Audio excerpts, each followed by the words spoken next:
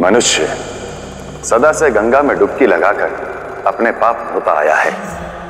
उसे यह भ्रम है कि माँ गंगा उसके पाप धोकर उसे पवित्र कर देंगी। किंतु यह अर्ध सत्य है। हाँ यदि सच में मन से प्रायश्चित किया जाए, फिर कभी पाप, अधर्म ना करने का निश्चय लिया जाए तो अवश्य देवी गंगा आपके मन को पवित्र करेंगी। किंतु पावन गंगा जल से अपने मन के मैल को धोकर भी यदि नए पाप करने की योजना है, आपको कभी स्वर्ग नहीं दिला सकती।